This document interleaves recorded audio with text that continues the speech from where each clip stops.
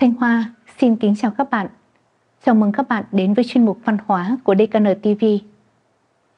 Thưa các bạn, hôm nay chúng ta sẽ cùng nhau chia sẻ câu chuyện Người chuyên hành thiện sự toát lên khí chất hiền đạt. Thưa các bạn, cổ nhân khi xưa hằng khuyên con cháu đời này hành thiện tích đức thì đời sau được hưởng phúc báo. Người xưa quan niệm rằng phú quý thảy đều từ đức mà ra, không có đức thì chẳng có gì, mất đức sẽ mất hết hẳn người công thành danh toại, người mà được đạt kết quả mỹ mãn trên đường công danh sự nghiệp, ắt phải có lượng đức dày tương ứng. Nói về hiền đạt, làm nên công danh sự nghiệp, có được địa vị rực rỡ vẻ vang, cũng phải là người tích đại đức. Một đời đền sách nuôi khí chất là phép tu dưỡng của người xưa. Sang hèn không phải là thước đo danh vọng, cốt yếu vẫn phải căn cứ vào khí chất con người khi chất hiền đạt của một người lộ rõ phẩm chất cao quý và tâm hồn thiện lương. Thế nên dân gian mới hay câu tốt gỗ hơn tốt nước sơn. Quan trọng là nhà chính trị tư tưởng nổi tiếng nước tề thời Xuân Thu.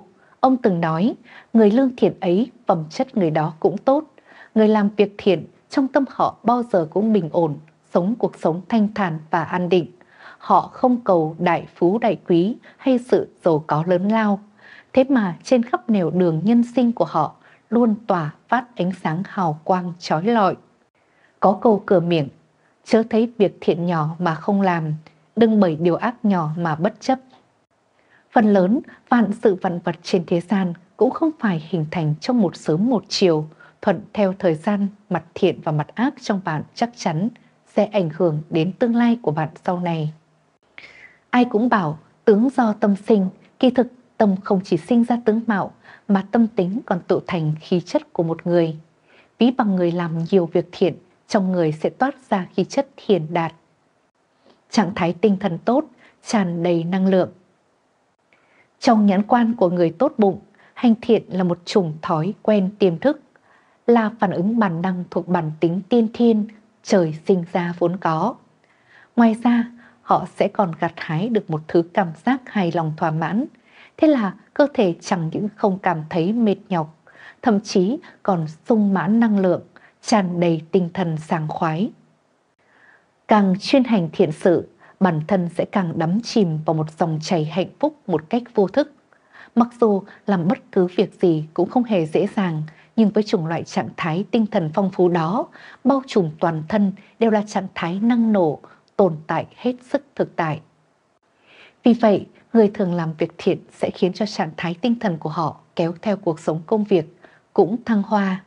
Dần ra, đời sống gia đình ngày càng mỹ hào, đem lại cho con người một loại cảm giác tràn đầy năng lượng. Làm việc khiêm tốn, nhún nhường đúng mực. Người ta thường nói, khi bước ra ngoài làm việc phải khiêm tốn, cũng cần giữ gìn đạo lý. Thế nhưng trong cuộc sống, để có thể làm được điều này một cách chân chính, thì hỏi có mấy ai phần lớn người ta không tìm được thái độ làm việc mà họ nên có. Một số quá thô bạo, số kia thì quá cao ngạo, lại cũng có số ít tự ti, tựa như hạt bụi vô danh. Cho nên, xử thế chi đạo là cách sống hành xử có đạo lý. Đây là điều mà tự mình nên cần phải học tập trong suốt cuộc đời. Người lương thiện lúc nào cũng chất chứa lòng kính nể, họ có năng lực phát hiện ra ưu điểm của mọi người và cũng sẵn lòng bao dung cho khuyết điểm của từng cá nhân. Vì lẽ đó, ngay khi thành công, họ không khoe khoang bởi e rằng sẽ tổn thương người khác và họ cũng cho rằng người khác tốt và giỏi hơn mình.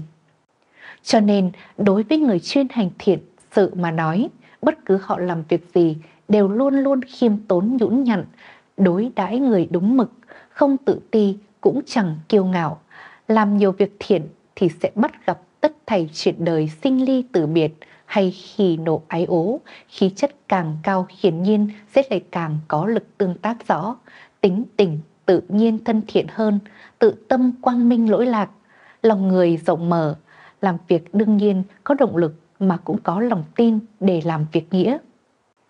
Tính tình ôn hòa như ngọc, hàm chứa tu dưỡng.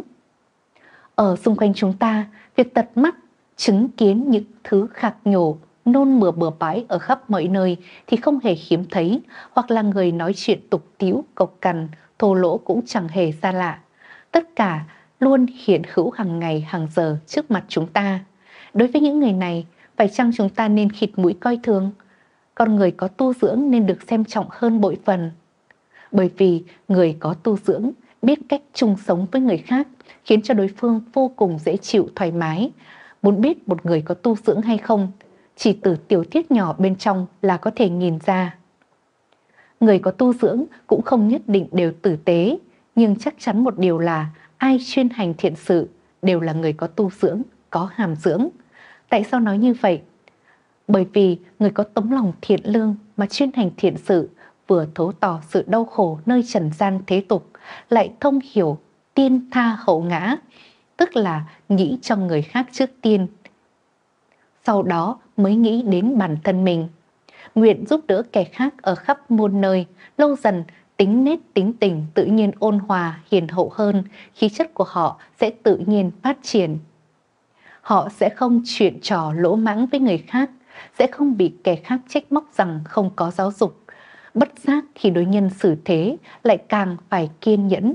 Họ không những độ lượng mà còn ôn nhu, lâu dài về sau sẽ có khí chất ôn hòa như ngọc. Loại khí chất này người bình thường không tài nào bắt chước hay mô phỏng theo được. Có thể nói tất cả những điều xấu xa đều bắt nguồn từ sự ích kỷ và tất cả những điều tốt đẹp nằm ở chỗ không ích kỷ, không vụ lợi và thậm chí dám xả thân vì công chúng. Quán ngữ có câu, người lương thiện thường cực kỳ đại độ. Họ sẵn lòng quên mình vì lợi ích chung.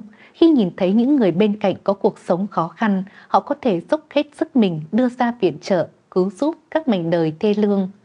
Trong việc họ kiệm lời hết sức, bởi rằng những gì họ đang làm không phải mong nhận được tán dương từ người khác, mà là để bản thân không thẹn với lòng, xứng với lương tâm. Đời người chẳng qua trăm năm, mỗi một người đều có kiểu cách sống của riêng mình. Suy cho cùng, chỉ có người lương thiện mới thật sự là người thắng cuộc trên con đường nhân sinh ngắn ngủi và đầy dẫy trông gai này.